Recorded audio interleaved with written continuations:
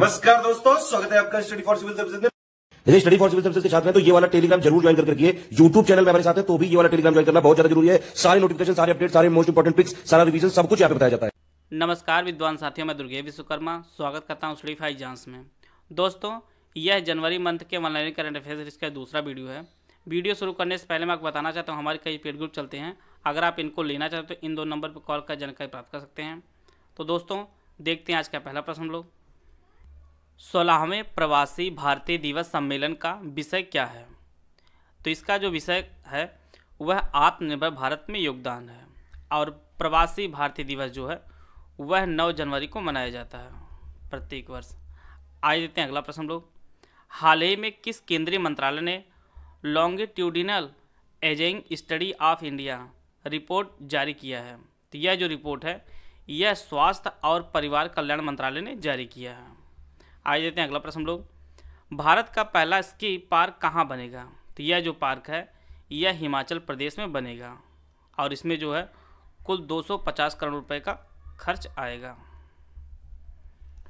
आइए देते हैं अगला प्रश्न लोग।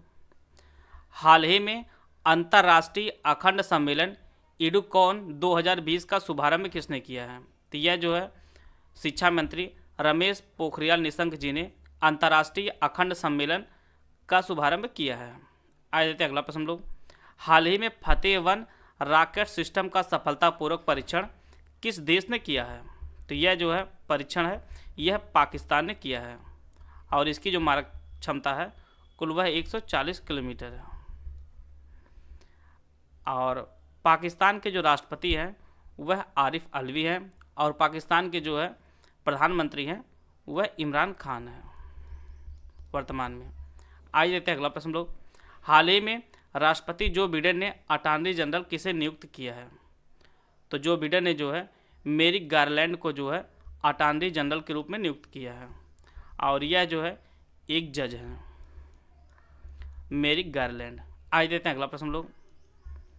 हाल ही में एयर इंडिया की महिला पायलटों की टीम ने कितने किलोमीटर लगातार उड़ान भर के इतिहास रचा है? तो यह जो टीम है, यह कुल सोलह हज़ार किलोमीटर की दूरी जो है, तय की है। आए देते हैं अगला प्रश्न लोग।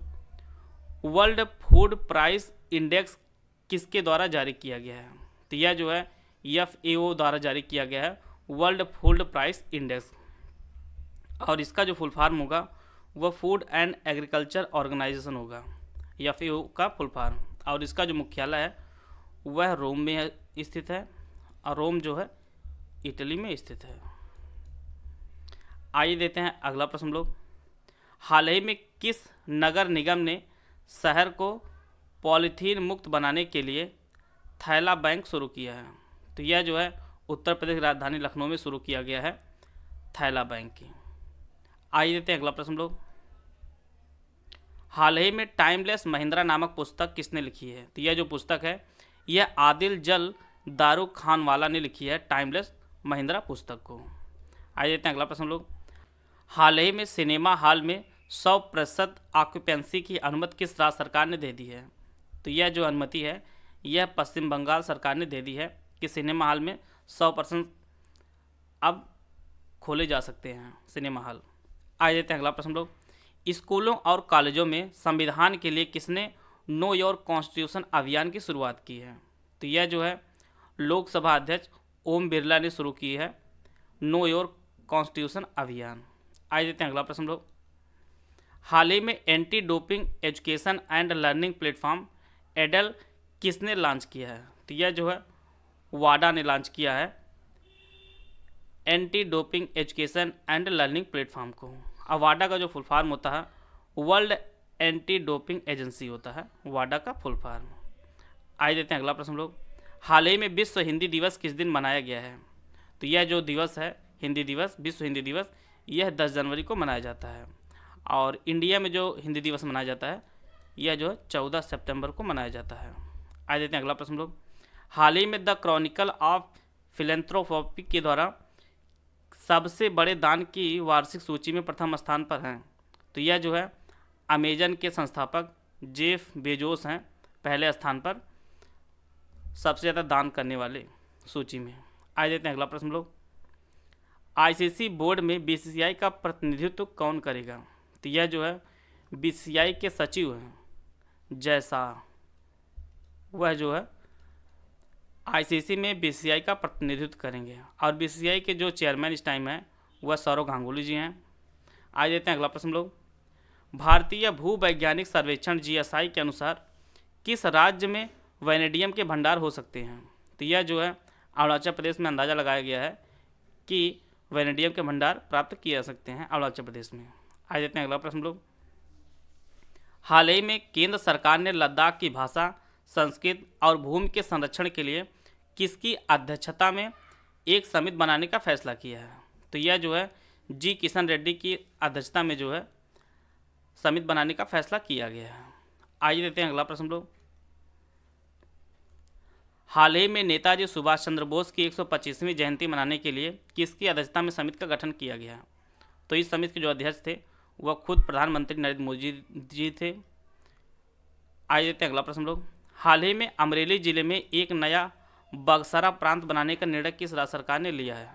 तो यह जो है, गुजरात राज्य सरकार ने लिया है अमरेली ज़िले में एक नया बक्सरा प्रांत बनाने के लिए। और गुजरात में कुल वर्तमान में जो है, कुल तैंतीस डिस्ट्रिक्ट हैं। तैंतीस डिस्ट्रिक्ट हैं। आइए देते हैं अगला प्रश्न हम लोग। हाल ही में अपने संविधान को जानो नामक पहल किसने शुरू की है? अपने संविधान को जानो नामक पहल जो है, वह केंद्र सरकार ने शुरू की है। आइए देते हैं अगला प्रश्न हम लोग। हाल ही में चेरी ब्लॉसम माओ फेस्टिवल किस राज्य में आयोजित हुआ है? तो यह जो है, फेस्टिवल है, यह मणिपुर में आयोजित हुआ है, चेरी ब्लॉसम माओ फेस्टिवल। आ जाते हैं अगला प्रश्न लोग। हाल ही में किस राज्य के गवर्नर ने making of a general a Himalayan echo book launch किया है? तो मणिपुर के गवर्नर जो हैं, नाजमा हेप्तुल्ला जी ने making of a general a Himalayan echo book को लॉन्च किया है। और मणिपुर के जो वर्तमान मुख्यमंत्री हैं, वह एन बीरेन्द्र सिंह हैं। एन बीरेन्द्र सिंह हैं। आइए देते हैं अगला प्रश्न लोग हाल ही में जारी bureau of police research and development की रिपोर्ट के मुताबिक वर्तमान में देश भर में पुलिस बल में कितने प्रतिशत महिलाएँ हैं? तो महिलाओं का जो परसेंट है, वह दस दशमलव तीन परसेंट, जो काफ़ी कम है। आइए देते हैं अगला प्रश्न लोग हाल ही में जो बिडेन ने सी आई ए का निदेशक किसे नियुक्त किया है? तो सी आई ए का निदेशक जो है, वह विलियम बंस को नियुक्त किया है, जो बिडेन ने। आ देते हैं अगला प्रश्न लोग हाल ही में किस ओलंपिक चैंपियन ने अपना सौवा जन्मदिन मनाया है? तो यह जो है, हंगरी के खिलाड़ी अग्नेश कैलेटी हैं, जिन्होंने अपना सौवा जन्मदिन मनाया है और इन्होंने कुल जो है, दस ओलंपिक पदक जीते हैं और इन्हें जो है, क्वीन ऑफ़ जिम्नास्टिक कहा जाता है। आ जाते हैं अगला प्रश्न दो। हाल ही में पिपली को पर्यटन हब के रूप में विकसित करने का निर्णय किस राज्य सरकार ने किया है? तो यह जो है हरियाणा सरकार ने निर्णय लिया है कि पिपली को पर्यटन हब बनाया जाएगा। आ देते हैं अगला प्रश्न लोग।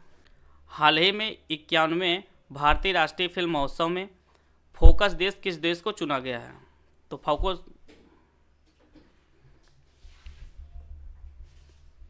हाल ही में इक्यानवे भारतीय राष्ट्रीय फ़िल्म महोत्सव में फोकस देश किस देश को चुना गया है?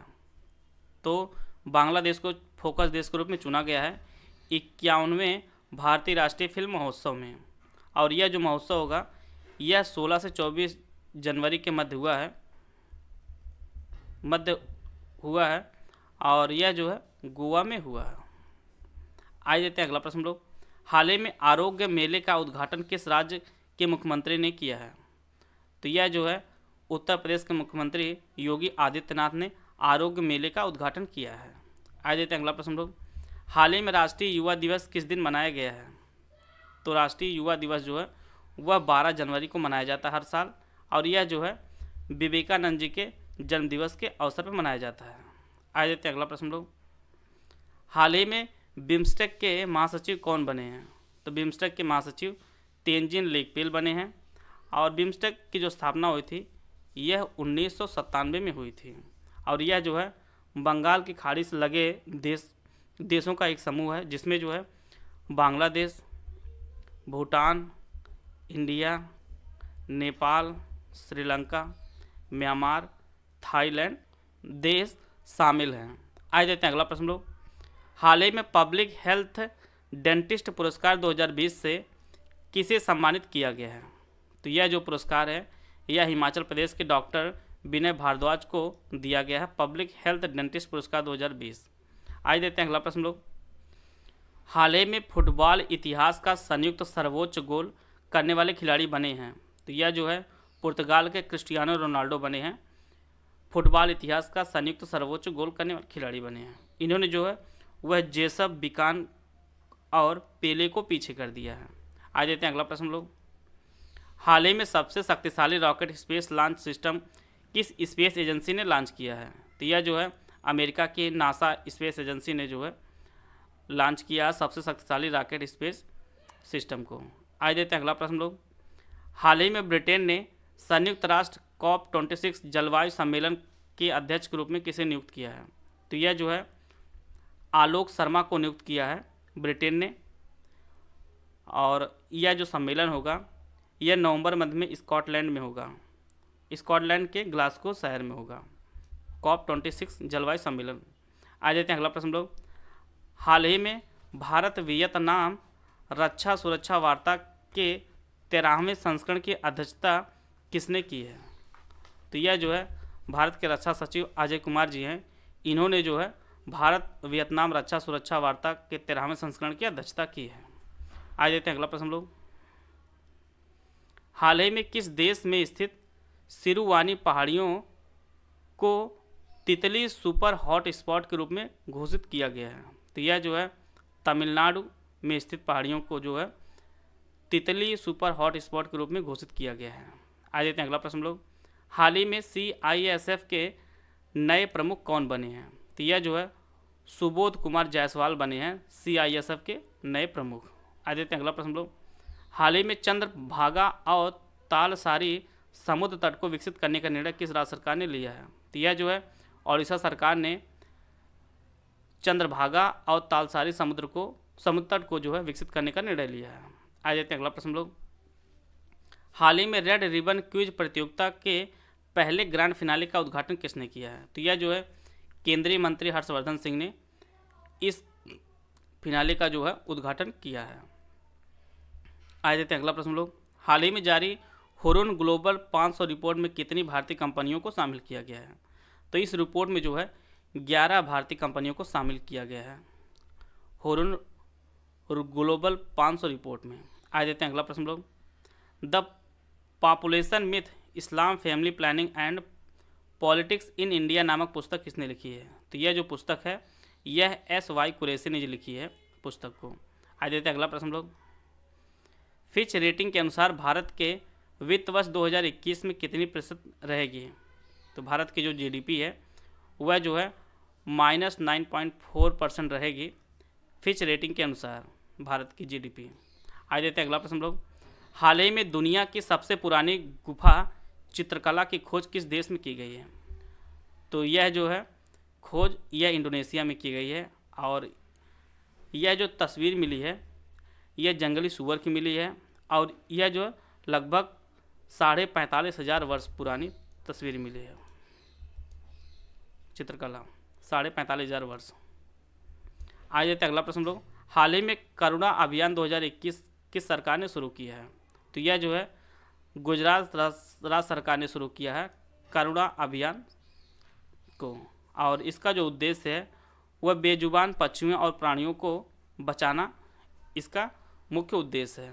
आ जाते अगला प्रश्न लोग हाल ही में वेलकम थीम्ड क्रेडिट कार्ड किस बैंक ने लॉन्च किया है?